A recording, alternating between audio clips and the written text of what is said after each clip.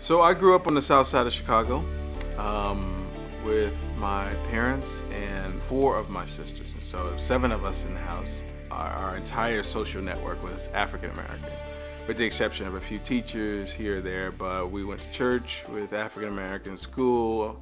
I mean, there was really no meaningful interactions with people outside of the African American community. Um, there was a lot of stuff going on in the neighborhood. There was a criminal element. There were some sort of dangerous components. Before my parents came to know the Lord, they, they ran the streets. They were career criminals. And so when they came to faith, they still had a lot of respect from the people that they used to know from the neighborhood. And my father would always say to me, he would say, son, my, my testimony is that God rescued me from all these things. He said, my prayer for you is that God would keep you from these things? I grew up in Urbana, Illinois, and I grew up in a Christian home. I went to Christian school. As I consider my upbringing, though, even though there was diversity in Champaign, Urbana, I lived a very white life. The idea of the Holy Spirit ministry was pretty strange to me, and I remember just um, attending the Vineyard Church for the first time in college and just seeing people like really worship Jesus and it made me really uncomfortable. I moved to Urbana, Illinois in 1999 to go to the University of Illinois. And so I was moving from very homogeneous South Side neighborhood of Chicago to a very white Champaign, Urbana, like very, very white Champaign, Urbana. And so it wasn't until um, I had graduated college, I was serving in in the vineyard. I was, I think I was working in TV at the time um, that I felt um, a call to to be a church planter.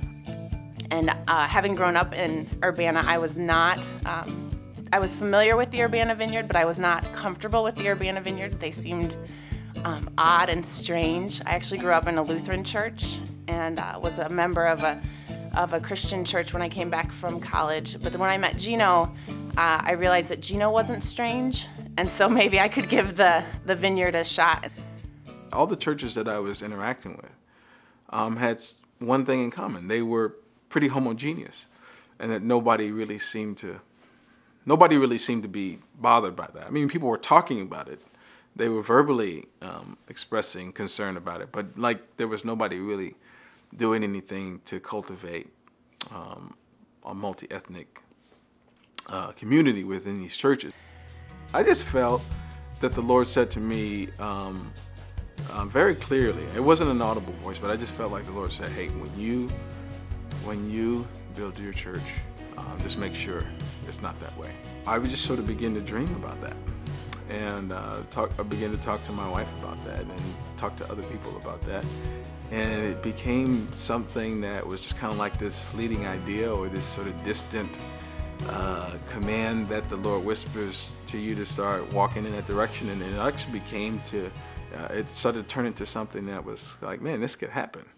We're glad that you joined us tonight if you're a first time, but I guess it's everybody's first time, right? When you come to our church, you will see people of different ethnicities preaching and worship leading and directing kids' church and welcoming you at the front door, as well as people of different ethnicities sitting around the table making leadership decisions.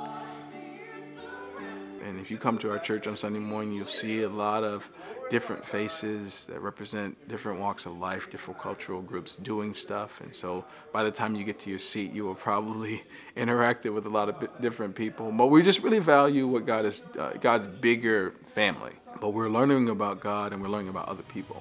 We're actually learning about God's goodness and His depth through seeing the, the different types of people that He's created.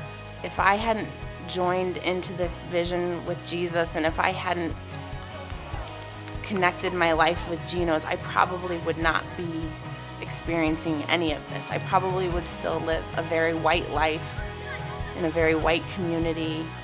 Um, and I wouldn't, I wouldn't know all of the stuff that I know because I because I said yes to Jesus and because I said yes to being a part of this crazy church planting life.